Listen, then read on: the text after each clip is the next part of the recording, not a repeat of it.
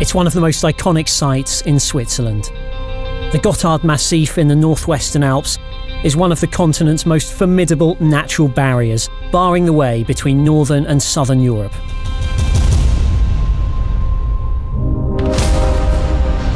For centuries, this was a key trade route for goods travelling from Germany to Italy and an important military stronghold. The 1500, it was the idea that uh, because all the river starts near in this region, they thought that that must be the highest mountain of the Alps. The difference between the Jungfrau or the Matterhorn and the Gotthard is that the Jungfrau and the Matterhorn, they do have an image. When you say when you say Matterhorn, you just see it in, the, in your head. When you say Gotthard, there are 20 images, and somebody said once the Gotthard has no image but a lot of stories. The only way to cross the Gotthard until modern times was by negotiating a narrow pass that forded turbulent rivers and scaled sheer granite gorges.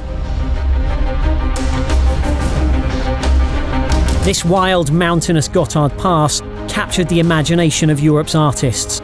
From William Turner, who painted the famous Devil's Bridge, to romantic poets like Goethe. The idea of tunnelling straight through this rock was an enormous undertaking and an expensive one, the brainchild of Swiss industrialist Alfred Escher.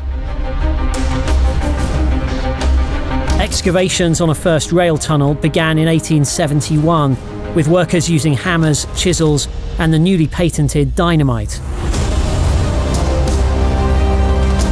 It was slow and risky progress, with the tunnel advancing by just a metre a day in the beginning.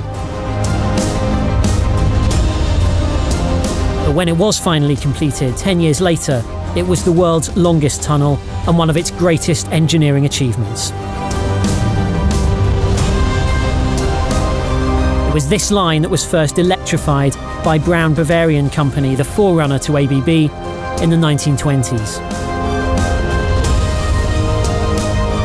Now, ABB Engineering has helped complete a new tunnel and one of the most groundbreaking rail projects ever attempted. Switzerland is a very small country. I think to, to build such a tunnel a, in a country with 8 million inhabitants, it's very something special. You don't have the fastest train, the longest train, the highest train, but I think our uh, pride is to have the longest tunnel, which we do have now the third time, and I hope for a long time again. This newly completed tunnel reaches all the way through the very base of the Gotthard Massif to form the longest and the deepest rail tunnel anywhere on the globe, powered and ventilated by ABB Engineering.